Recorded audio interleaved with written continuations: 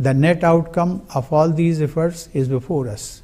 After about a year of this unforeseen ordeal, India today stands not despondent but confident.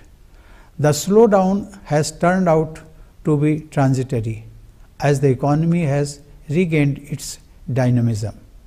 A self reliant India has manufactured its own vaccine for COVID 19 and is now undertaking a mass vaccination drive, which will be the largest exercise of its kind in history. The administration and health services are working with full readiness to make this exercise a success.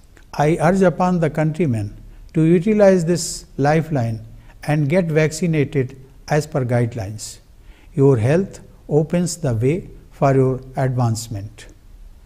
Today, India is being rightly called pharmacy of the world as we are supplying medicines and other healthcare items to several countries to alleviate people's suffering and contain the pandemic across the globe.